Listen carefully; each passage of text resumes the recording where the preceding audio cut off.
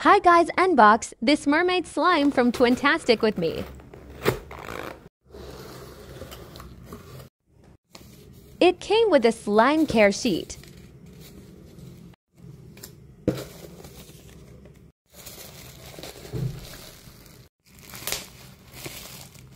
Pop.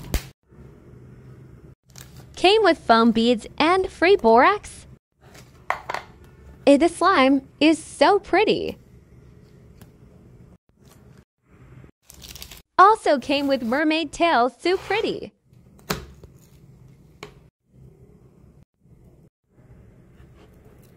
The slime was super soft.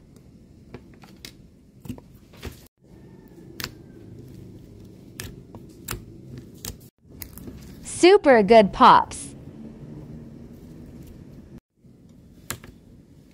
The clay piece was melted so I didn't put into slime anymore. If you want to see the clay piece mixed with the slime, go watch my sister's slime video. This slime is definitely a tense. Although I was super sad about the clay piece cause it melted and the clay piece is what I was most exited of.